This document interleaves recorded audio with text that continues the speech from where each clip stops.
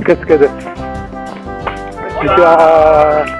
シャンパンフェスになります。よろしければどうぞ。食堂に入っています。ここは何をやってるんですか？何サークルですか？たくさんお客さん来てますか？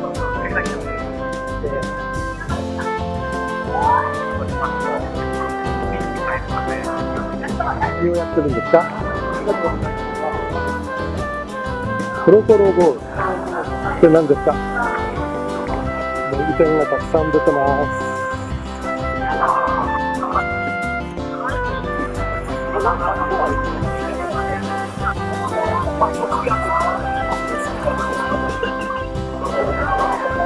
おっと、呼び込み。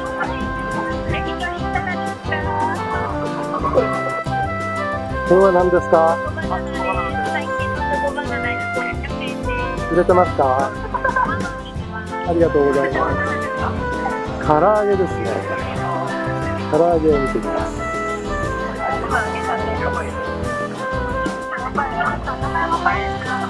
揚げたてです。お、ちょっと変わったメニューも。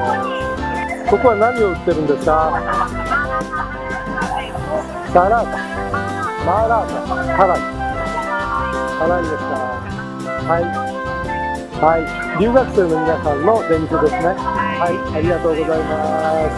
美味しいですか？カクテルですか？お酒入ってますか？あ、お酒のないカクテルですか？ありがとうございます。甘い？売れてますか？これは何ですか？中華スープ。中華スープ、肉団子、肉団子あります。お手製。そうですね。今日寒いし売れてます？だいぶ意外と香川おじいさんワッフルです。はい。何のワッフルがありますか。四種類。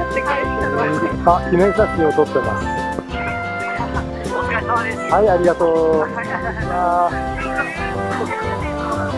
差し入れ。売れてますか。売れてますか。フィッシュカレー。日焼け。この新聞の効果はありますか。本当に？よかった、よかった。じゃあ、ちょっと中身を覗いてみましょう。あ、それですね。手前が？えっとブラックバスですね。はい。でこちらの方がニゴイの唐揚げになります。はい。それとカレーですカ。レーです。はい、どうもありがとう。こちらはイビューサーですね。ボランティアサークルですね。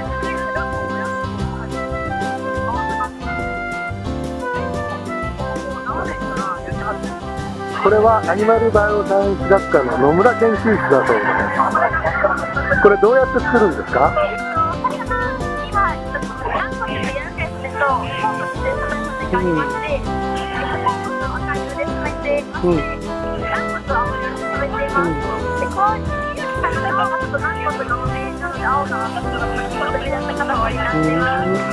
ありがとうございます。こういう字なんですけど、あの長浜って英語で書くとロングビーチじゃないですか。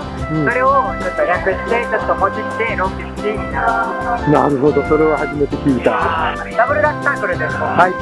で今日は何を出してるんですか？お汁も出してます。おしるこです。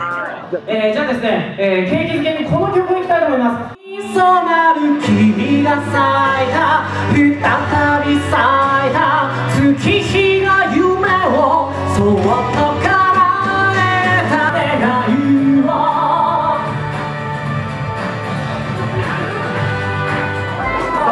はなかなかいえっと2番目、えフェラーリのラジコンです。赤色ですね。